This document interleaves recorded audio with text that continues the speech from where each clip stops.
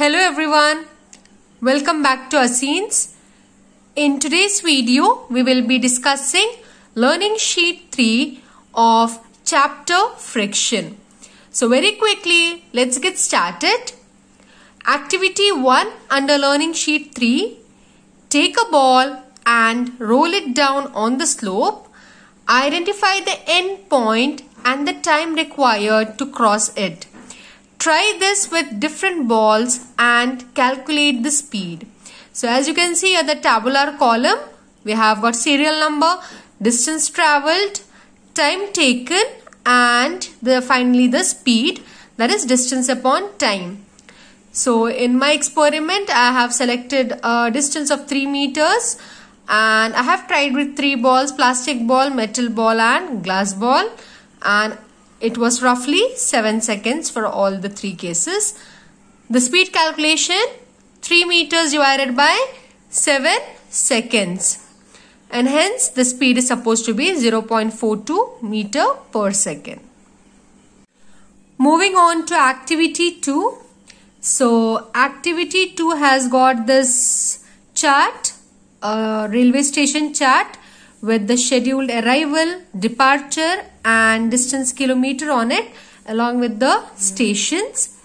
Considering this, we are supposed to answer the tabular column given below and you can see here the tabular column, the answers. Okay, the, for the first case distance is 68 kilometer and time taken 58 minutes. I have converted each time into hours since we'll be calculating speed, speed is equal to distance upon time and we are calculating in terms of kilometer per hour. So this is the tabular column. Next, answer the following based on the above calculations. So we have got a set of four questions here. First one, is it that train is traveling all the time in same speed? No, the train shows different speed between different stations. Second, between which two stations the train traveled with high speed? It was between Raichur and Mantralayam RD. Third one, if that train travels with constant speed, then what type of motion is this? It would be called as a uniform speed. What explains the average speed with journey? The average speed of the journey is 47.5 km per hour.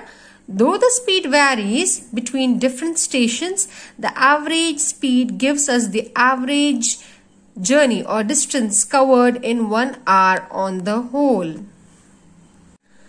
This marks an end to the learning sheet 3. The learning sheet 4 will be uploaded in the next video. Till then, if you find my video helpful, don't forget to like, share and subscribe to my channel. Thank you.